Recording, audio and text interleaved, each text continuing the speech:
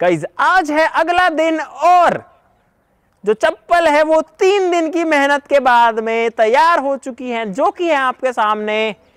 Ton guys ये है सबसे बड़ी चप्पल और ये इतनी बड़ी है कि हाथ में सही ढंग से पकड़ में भी नहीं आती है।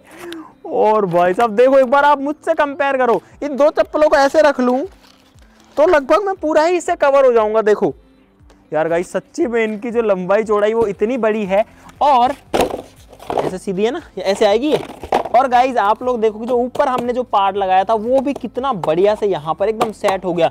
पूरा सॉलिड एकदम हार्ड हो गया है। गाइज़ जूते मैंने निकाल दिए हैं तो अब देखते हैं ये चप्पल कैसी लगती है। पहनने में ये गया एक पैर, और एकदम फिट आ गया, एकदम फिट आ गया।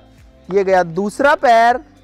ओ, ये वाला थोड़ा सा कम फिटिंग में आया है, अंदर एकदम टाइट हो रखा है। और मैं इसको तोड़ना नहीं चाह रहा। ठीक है? तो गाइज़ मैंने जो है